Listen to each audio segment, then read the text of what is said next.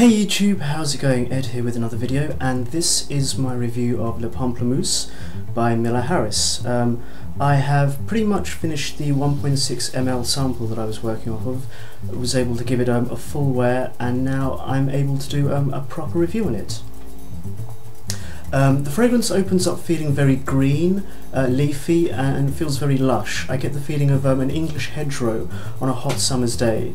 Um, I kind of feel like this sort of lush green, slightly herby uh, opening must be the sage with the rosemary, and I get a tiny hint of the green melon as well.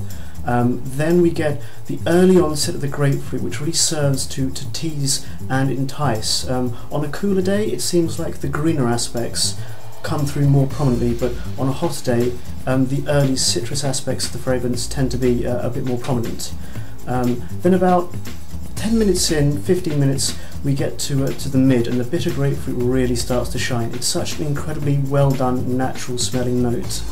Um, we've also got the rhubarb in there, which gives the grapefruit a really interesting edge. Um, I also get the, the, Moroccan orange flower as well, um, all wonderfully blended together, and the, the, orange flower gives just a touch of sweetness and a slight floral feeling as well. And the green melon, um, slightly stronger here than in the top, gives a, a, kind of balance to the mid, and to my nose, it's the least prominent of all the notes in the mid of the fragrance but it also stops things from becoming overly citrusy and harsh and keeping a slight green uh, leafy aspect to the mid. Um, the interplay of these notes is absolutely beautiful uh, and gives the mid real character, intrigue, sophistication, life and warmth. Um, this is by far the best part of the fragrance and it really does bloom in the heat and this is the part of the fragrance that, that is the nicest. It is natural and it is rich and um, it, it's beautifully done. From here the mid gradually dies down to the base, just like the cooling of the day. Uh, we get a, a, woody, slightly earthy vibe from the vetiver, tree moss and Moroccan cedar. The cedar being the most prominent of all, while all the time you continue to pick up the faintest hints of um, that wonderful bitter grapefruit. I would say that this fragrance is ultimately uh, a fusion of English sensibility with the romanticism of a beautiful Moroccan aromatic summer's garden filled with beautiful grapefruit trees. This is a summer-only scent. Although it is labelled as being an eau de parfum, this does not feel like an eau de parfum strength fragrance at all. Um, I wish it was stronger, deeper, richer, longer lasting.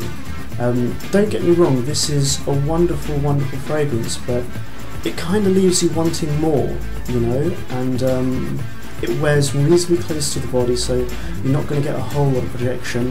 Uh, the sillage on it isn't that great, but um, but the the actual smell, the overall smell and, the vibe and the feeling that you get from this fragrance is really really nice. Um, I just wish that it had a bit more oomph to it and that it was a bit longer lasting because um, it does deliver a nice experience, but ultimately it leaves you wanting that little bit more.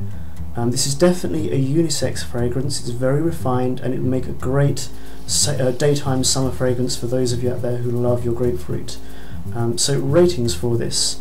Projection, I will give it a C minus, sillage a C, longevity C minus, and the overall smell a B.